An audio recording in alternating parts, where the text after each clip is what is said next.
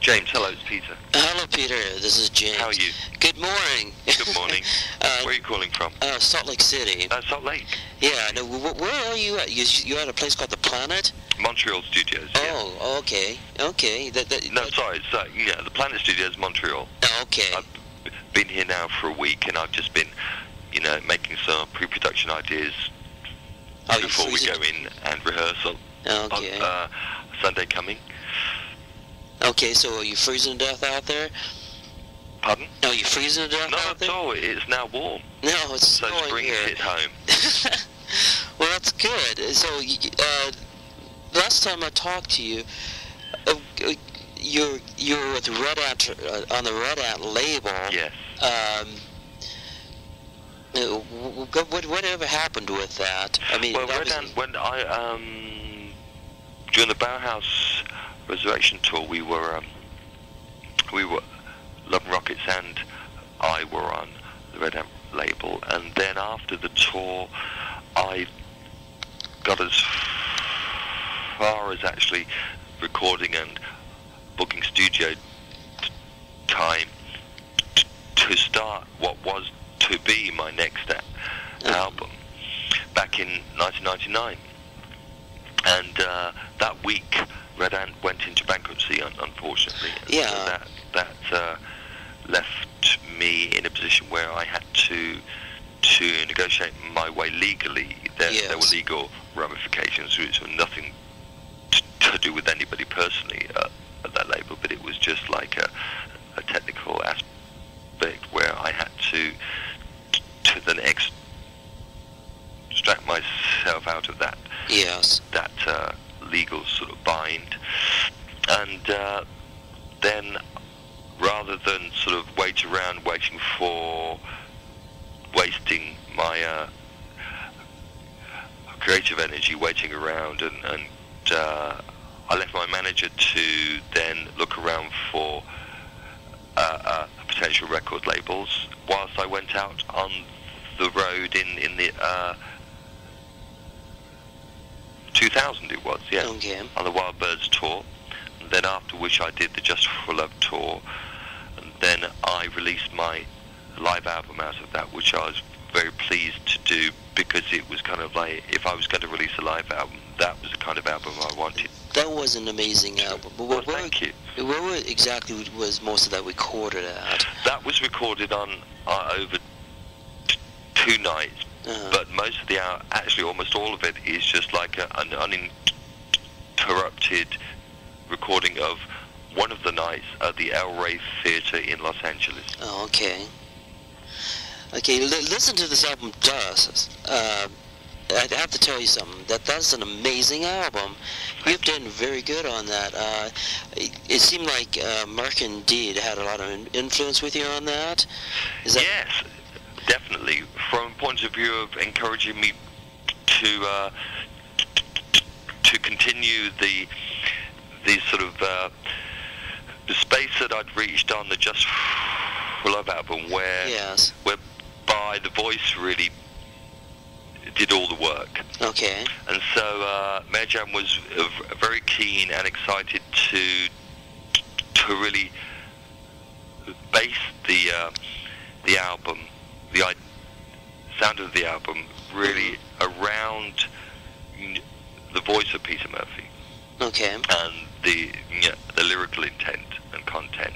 And so you'll you'll hear that you'll you'll probably notice that there is a great sort of uh, uh, harmonious organic relationship Oh yeah, yeah, with all definitely. all all of the elements, you know. And so um, yeah, Mercan was very very um, helpful in really focusing me on just um, for instance where you know we made a, a definite limit of time hmm that, that we set for the album to be made inside, Okay. which was I think it ended up being ten weeks in total. And rather than I consciously wanted to, or, or encouraged me to come in to the studio without any pre-written ideas, Yes. and uh, I eventually then spent the first week or so writing the album Okay. with uh, vocals and lyrics, and from there on, um, well, well Mercan and I then really worked on some uh, chord arrangements, which would then work with the yeah, the eventually planned Turkish instrumentation Yes, scalings, and it was that that was a very simple framework around which we then continued and, and invited uh, various musicians, and also Mercan was uh, very very um, clever in applying some sort of more electronica-based rhythmic Yes. elements in the songs, uh, such as use of hmm finger bells, a lot of uh, interesting tickling sort of percussive elements.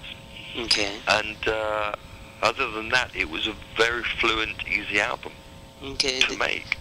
So it flowed pretty well uh, uh, uh, in, in creating the album.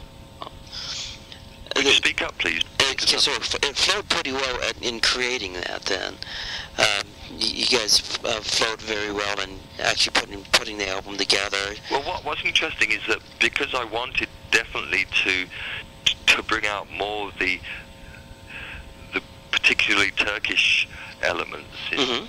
in my music, which I, you know, if you look back at all my albums, there's always been a, uh, an element of that of, Yes. of that Turkish influence musically, but not not as overtly as Dust. But this one had. Before I made an album Mhm. that was uh, so overtly sort of uh, had a, a Turkish element in it. Yes. I it, it I wanted to be sure that you know the person I was going to work with was going to understand one what I was looking for as an artist and and what the, the nature of Peter Murphy was, as uh, rather than make uh, just another world album, which would have been sort of very, in a way, unauthentic. Okay.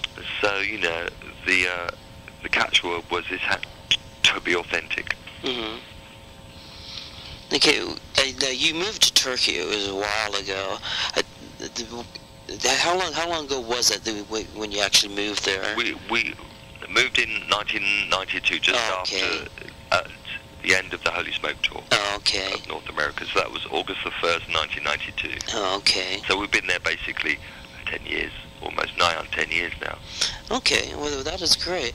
Yeah, I, I, I have to say it again. I have to come, uh, com, um, com, um, congratulate you on this album. It's an amazing album. Thank you very much. Uh, well, I'm, I'm hoping that it's going to be a, you know, an album that really sort of has a very sort of rich and beautiful effect with Yes. people. I hope it you know, spreads that, that you know, sense of authenticity hmm comes across and there's a quality of love as as well as as well as um, you know very progressive and truly alternative music. Yes. Okay, one thing, I, and this was a long time ago. It was about 1993. I was reading something in Billboard magazine how you were trying to get away from being from the uh, the darker goth stuff into what you're uh, going into as of right now. I think that that may have been a comment of the actual writer, okay. but I mean, sure. Um, no, I don't really really concern myself with actually identifying with, with labels that Yes. media may may or may not you know, project on. To me, I mean, I, I reserve the right to be Peter Murphy, really. And that's good. You know, and that's that's uh, you know, it doesn't really bother me. But there, you know, there's an element where during Bauhaus we Mhm. definitely wanted to to make it to clarify uh, and and b- by example that uh, you know our music was not really t- to be compared to to what might now be uh, understood as as gothic music. Yes, exactly. so that, that that was one of the possibly that was written around the Bauhaus Resurrection tour period, where that that was definitely one of the uh, on the agenda, Yes. one of the main talking points on the, on the agenda. Yes. Okay. Uh, do, do you do do much with? Uh, do you ever see much with Daniel Ash or David J. Much No, anymore? The last I heard from uh, Daniel was when he called me back. Um, when was it? In, uh, just after the 2000 Wild Birds 2000 tour Okay. and he he was uh, musing over the idea of. You know, he was warming to the no, he had warmed to the idea of uh, a, a a sort of more permanent uh, reunion of, Mhm. of Bauhaus, but then that didn't happen in the end. So, you know, I haven't heard from him since. But hmm David and I speak all the time, and you know, I count Daniel as one of my lifelong friends. Yes. So, uh, I mean, that that's in the nature of Daniel's nature. He likes to to cut off and break l- loose, and you don't hear from him again for a long while, and then Mhm. you know, I'll probably hear from him unexpected moment in time. Yeah. Okay, with with uh, creating music, uh, I mean, what keeps you going and what you want to keep on doing or being in the music business? I mean, I, I I understand that uh, it's great to be uh, creative, uh, but it's also a crazy world be being involved in this. I mean, what, what seems to just keep you um, going from day to day and creating music? Yeah, I mean that that is always like the the problem of any artist, I guess, is Yeah. keeping that sense of motivation going and and sense of purity of purpose and clarity of mind. But and you know, I also like like enjoy if uh, there's an audience, as I proved in the year 2000 with with the two tours that I I Mhm.